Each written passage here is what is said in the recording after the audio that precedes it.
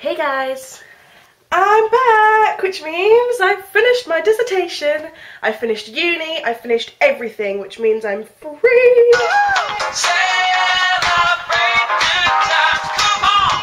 So this week's video is on the topic of sleep and dreams.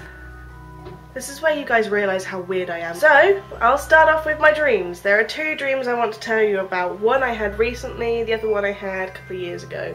But it still freaks the crap out of me, so I thought I'd still share it with you guys. Dream number one. By far the strangest dream I've ever had. If anybody can interpret this dream, comment. So, I was staying in this foster home because apparently I had no family and needed to be fostered. Chilling out in this kind of terraced house and all of a sudden we hear this commotion out on the street and we're all like, what? What's going on? What's going on? Blah, blah, blah. So we kind of look out the window and there's this army of Nazis just marching down the street, fronted by Hitler. Hitler just walks into a house because apparently we don't lock the door. He starts going, Where's the golden monkey? I want the golden monkey. So, um, I decide oh, I'm gonna be a hero. I step out from behind the curtain and I go, Hitler, dude, I don't know where the golden monkey is. So I take him out through our living room, through the kitchen, out the back, to the back garden, where we have stables. Makes perfect sense.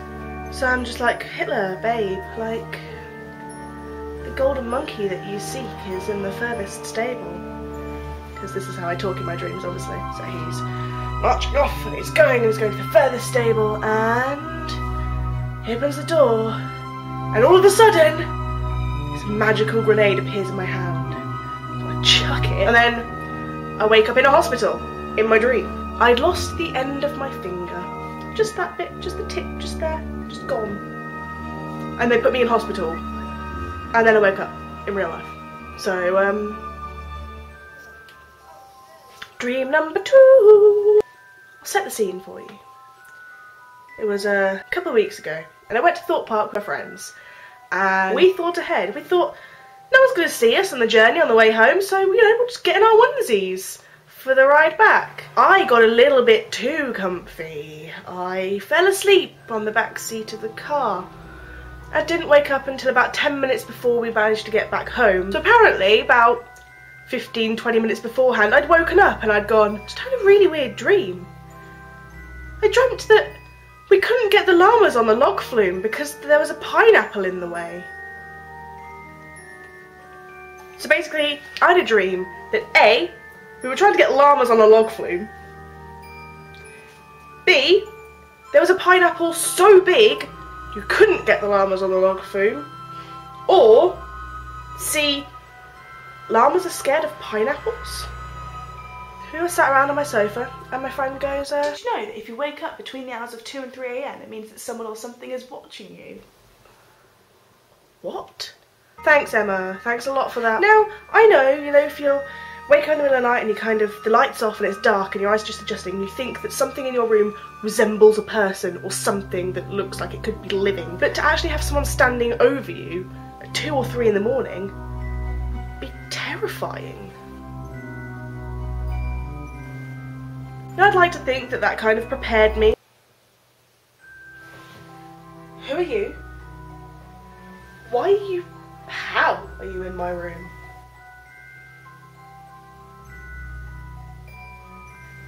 Cool, you're just going to stand there and watch me sleep then, because that's a totally normal thing to do.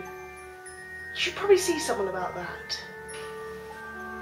But the truth of the matter is that I now would probably feel safer sleeping with a knife under my pillow.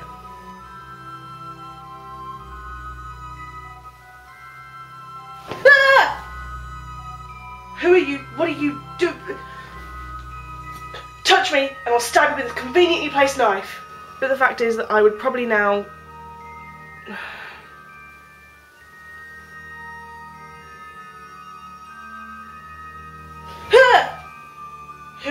What are you doing? You, you, you. I will stab you with this knife. That is so threatening. I will stab you with